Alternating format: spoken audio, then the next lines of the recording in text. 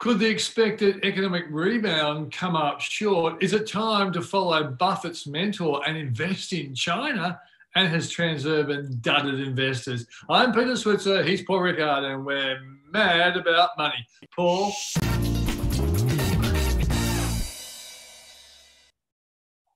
Could the expected rebound come up short, Paul? What do you reckon?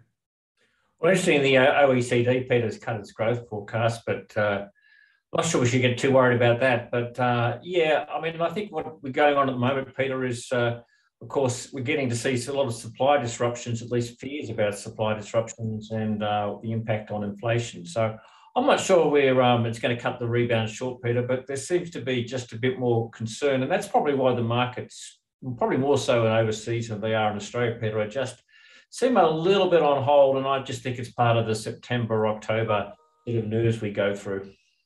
Yeah, and I, I think the interesting thing also is, Paul, that we actually could be advantaged by the fact that we're kind of behind the rest of the world because of all these lockdowns and whatever. And, and we saw this week in Sydney, there's been a, a massive re- rebound in spending.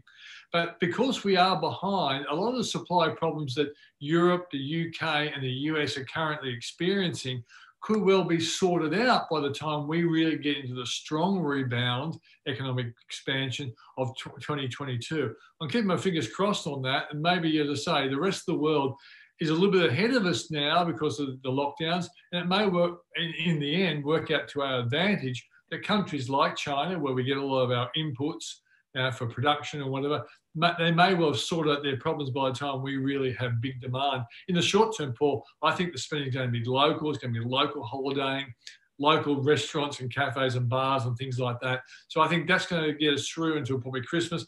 I hope then that we can overcome the shortage problems after that. Now let's go to the other uh, big issue. Um, an interesting story. Uh, Warren Buffett's mentor and, and, buddy is Charlie Munger, and uh, his uh, company, another company he's associated with, have doubled down on their investment on Alibaba.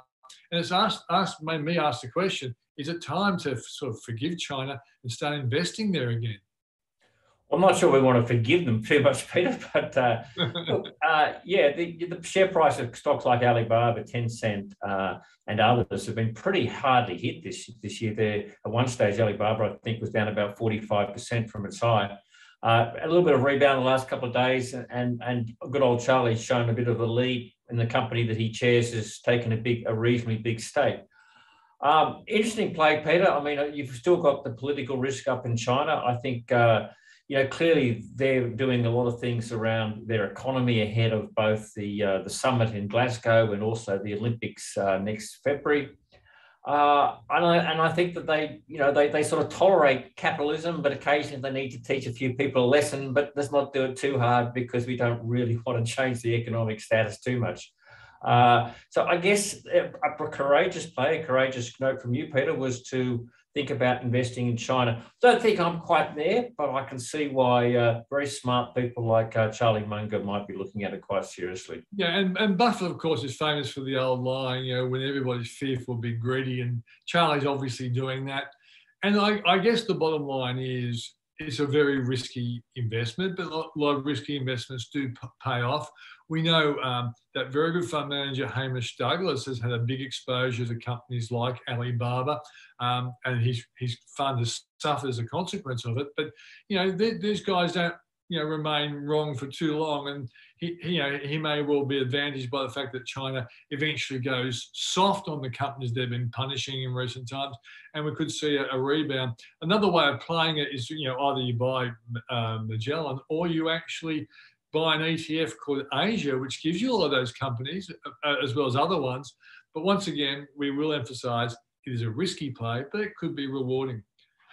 Yeah. I mean, I think the Asia play, it's the stock code for the fund uh, from BetaShares, had a great run until the market sort of bubbled over it. But, uh, you know, it's a, it's a way, I think it has about 10 or 12 uh, companies up in, in uh, in China or the Asian area, including companies like Taiwan Semiconductor, which of course is not in China, but of course uh, is the largest manufacturer in the world, but a way to play the Asian market. Uh, and maybe that's a better way to do it. So uh, had a great run in the last couple of years, big sell off, maybe there's some value there, but uh, you know, higher risk, as you say, Peter.